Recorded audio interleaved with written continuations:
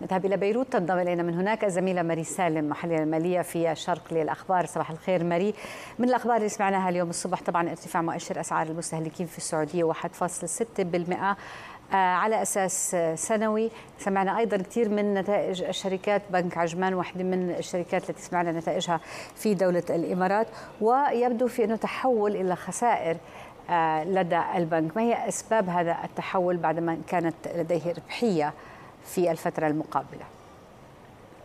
صباح الخير سبا ويعطيك ألف عافية. يعني فيما يتعلق بنتائج البنك بنك عجمان من الواضح انه البنك كان عنده أساليب مختلفة عن البنوك الأخرى بالإمارات فيما يتعلق باستحصالهم على القروض اللي هي كانت متعثرة. فبالتالي واجه بعض الصعوبات بهذا الموضوع خاصة إنه بنك عجمان نحن نعرف إنه نوع القروض اللي بيعطيها بيعطيها أكثر للشركات اللي هي مدرجة ضمن الأسواق المالية وغيرها من المستثمرين اللي هن بيتداولوا على الهوامش بالإجمال. فبالتالي كانت يمكن الفرص تبعه باسترداد هذه القروض أصعب من البنوك الأخرى فبالتالي أثرت بشكل كثير كبير على ربحية ربحية البنك وبالتالي الخسائر كانت عم بتزيد من الربع الثالث للربع الرابع وأدت لخسارة إجمالية للعام 2023 هلأ بهذه المرحلة تم الإعلان عن كل نتائج البنوك الإماراتية ونحن الله يراد الأسبوع المقبل حنعمل حصيلة هذه النتائج والأرباح المجمعة تبع البنوك وكيف حيكون تأثيرها على 2024 ولكن الملفت كمان من ناحية أخرى هي النتائج اللي صدرت من قبل شركات أخرى ضمن الإمارات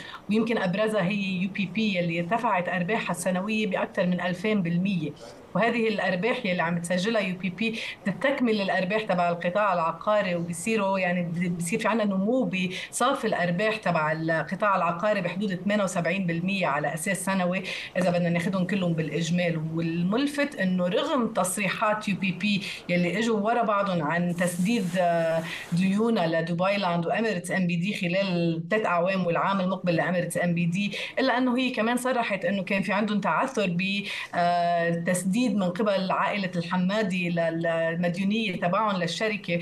فبالتالي كان من المتوقع أنه شوي يشوف بعض التراجع بالأرباح تبعهم وما نشوف هذا النمو الكتير كبير. ولكن بسبب النمو تبع القطاع العقاري بشكل عام بالإمارات وحتى ازدهار ال revenues والإيرادات تبع UPP قدروا إنه يحصلوا على هذه النتائج ولكن تبقى يعني هيك العثرة الوحيدة أو التحدي الكبير بالنسبة للفترة المقبلة هي إعادة هيكلة رأس مال الشركة وهو هذا الشيء اللي حنقعد نترقبه بال 2024 كيف حتقدر الشركة إنها تسير هذه الأمور بشكل إيجابي تظل مستمرة بهذه الربحية.